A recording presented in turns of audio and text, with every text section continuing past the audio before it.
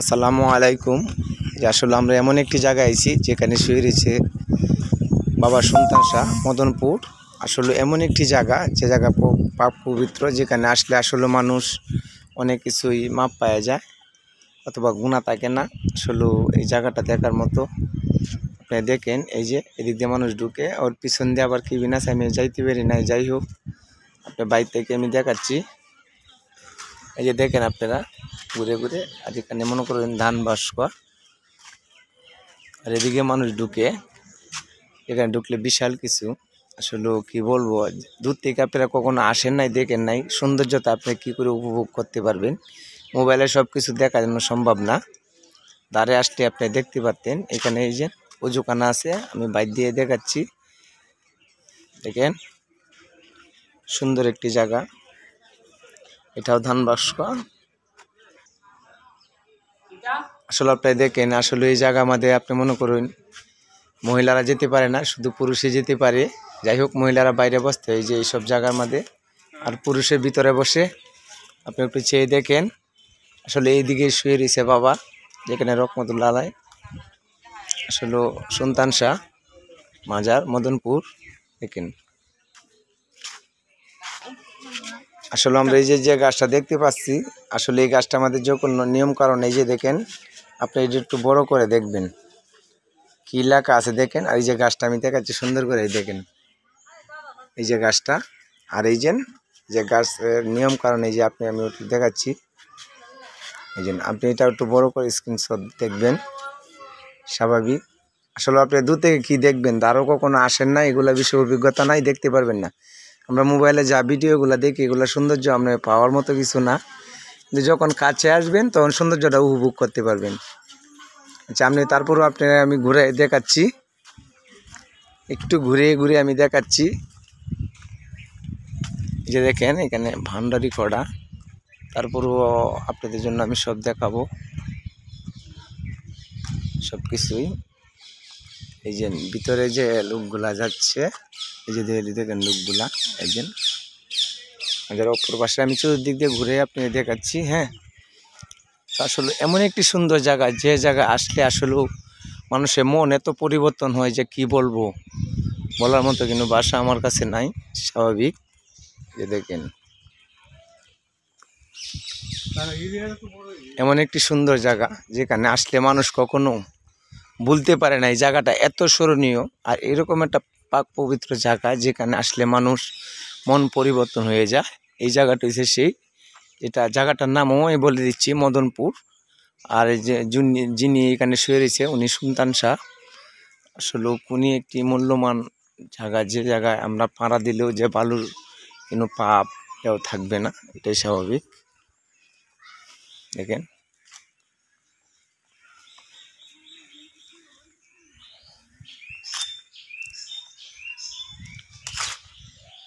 আর এখানে যারা আছে, মনে করেন অনেক ধরনের স্বাভাবিক যারা আছে, এরা মনে করেন আসে এখানে কবরস্থানের মতো। এটা আলাদা ছাগা রাখা হয়েছে। আর এই যে দেখতেন ফুল গাছ, দেখেন আপনারা সকলেই। আমি চতুর্দিক দিয়ে কিন্তু আপনার দেখাচ্ছি। কিন্তু আমি কিছু বাকি রাখি নাই, কিন্তু শুধু ভিতরে আমি যেতে পারি নাই, যাই হোক।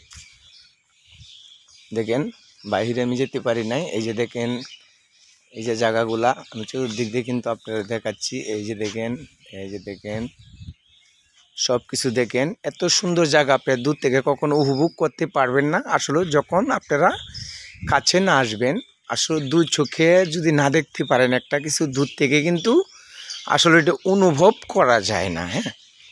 যখন আসবেন আপনারা, তখন আপনার সব কিছু সৌন্দর্য দেখতে পারবেন। আসলে মোবাইল থেকে এত সব কিছুই করা যায় না। কিন্তু আমরা স্বাভাবিক হিসাবে, সামাজিক হিসাবে আমরা এটা করতে পারি। এই যে দেখেন, আমি ওয়াল সাইড দেখাচ্ছি। এখানে মনে করেন প্রতি বৃহস্পতিবারে এখানে যত আমরা মামি সিং এলাকার যত ভালো ভালো শিল্পী আছে, তারা এখানে নৃত্য করে, বাবার নামে গান করে। এই যে জায়গাটি দেখেন, এই যে কাপেলা, এই যে ঝনে ঝনে বানিয়ে যেমন সালাম, বাউল সালাম, অথবা হবিল অলিদ আরও বড় ধরনের কী বলব পায় প্রায় পঞ্চাশ থেকে একশো শিল্পী আসে এখানে শুধু গান গাওয়ার জন্য। আসলে আপনি দু থেকে, যদিও আপনারা গান বাজনা এগুলা আপনি শুনতে চান, ভালো লাগে, তাহলে আপনার প্রতি বৃহস্পতিবারে এই দিনগত রাত্রে আপনার আসতে হবে, এটাই স্বাভাবিক। এটা দেখেন, আর এই যে আপনি সামনে দেখাচ্ছিলাম যে স্ক্রিন দিয়ে আমি লেখাটি দেখাচ্ছি, এখানে বাবা গাছটা লাগিয়েছিল, এই গাছটা এখনও খাসের ভিতরে এটা আমি রাইখে দিছে এটা আপনি আমি ভালো করে দেখাচ্ছি।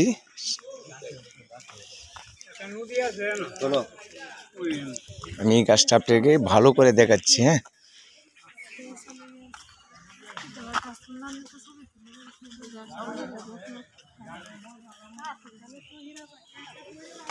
দেখেছেন এই যে স্ক্রিনটা নিয়মকরণ সব কিছু আছে এই যে দেখেন। দেখেন আপনারা।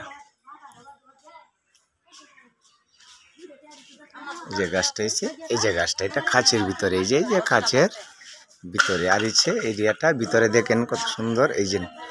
আমি সম্পূর্ণ কিন্তু ভিডিও করছি। কে সম্পূর্ণ ভিডিও এই যে দেখছেন এরা অনেক দূর থেকে আইছে, যেখানে যাইলে অনেক টাকা কাটি ভাড়া, তারপরেও দেখেন মনের যদি টান থাকে, তারা তারা আসছে অনেক দূর থেকে। আপনারা যদি আসতে চান, তাহলে আসতে পারেন, সমস্যা নেই। আর যদি আপনারা গান বাজনা এগুলো পেতে চান, প্রতি বৃহস্পতিবারে দিনগত রাত্রে আপনারা এই অনুষ্ঠানটা পালন করতে পারবেন। যত ভালো ভালো শিল্পী আসে, সালাম অলিদ হবিল আরও বিভিন্ন শিল্পী আমি কি করে বলব যে এগুলো আমি বলে শেষ করতে পারব না। স্বাভাবিক। এই যে দেখতেছেন, এই যে উনির বাড়ি, সে ব্রাহ্মণবাড়িয়া উনি অনেক দূর থেকে আইসে আসলে মনে যদি টান থাকে তাহলে অনেক দূর থেকে আসা যায়। আর আমরা খাস থেকেও আমরা আসতে পারি না, এটাই স্বাভাবিক। এটা মনের একজাস্ট থাকতে হবে, মনের ভালোবাসা থাকতে হবে, এটাই স্বাভাবিক। ওকে মনের ভালোবাসা না থাকলে এটা কখনো করা যায় না। আসলে এই দেখেন, এই যে এরা দুইটা মহিলা অনেক দূর থেকে আইসে কী বলব? এত দূরে ব্রাহ্মণবাড়িয়া আর কোথায় নেত্রকোনা একটা কোনায় পড়ছে। যে অনেক দূর থেকে আইসে আসলে মনের একটি টান, ভালোবাসা এটা আছে বিদায় ওরা আইসে এরা দেখার জন্য এত সকালে আইসে যে কি বলব? এত সকালে আমি এটা ভিডিওটা করতেছি, কি বলব? আসলে যারা আছেন, সবাই দেখতেছেন, আসলে আমাকে বেশি অংশ সাপোর্ট করবেন লাইক করবেন। তাহলে ভালো ভালো ভিডিও আমি দিতে পারব এটি স্বাভাবিক। এই যে ছোট্ট মেয়েটা হয়েছে কষার মধ্যে শীতের মধ্যে দেখেন। তোমার নাম কি? এই যে। আসলে দেখেন, এই যে গাছগুলা, এগুলো আমাদের আসলে এত সকালবেলা কিছু হয় না এখানে পুকুর বসে। আসলে এখানে দান টান করে, মানুষে যখন পুকুর বসে, তাদেরই আয় ধান করে। অথবা মানুষ যখন অনেক অনেক দূর থেকে আসে, তো অনেক গাছতলায় বসে। আর এই যে দেখতে পাচ্ছেন, এগুলা কাপেলা শিল্পীলার জন্য। আর এই যে দেখতে পাচ্ছেন, এগুলা গাছ, এটা অনেক দিনের আগের গাছ, কি বলব? আসলে দুধ, আমি তো বারবার কথাটা বলতে দুধ থেকে আপনারা যা দেখেন আসলেও বাস্তবে অতটুকু হয় না। যখন খাচ্ছে আসবেন, নিজের চোখে দেখবেন তো অনেকটা বুঝতে পারবেন, স্বাভাবিক। এই যে দেখেন, এরিয়াটা দেখেন। যে স্বাভাবিক এরিয়াটা। রাইসে অনেক গ্রাম হচ্ছে আচ্ছা এখন আমি রাখলাম। আসসালামু আলাইকুম রহমতুল্লাহ বরাকাত আমার জন্য সকলে দোয়া করবেন। আমি যেন এইভাবে ভিডিও মানে আপনার সকলকে দেখাতে পারি।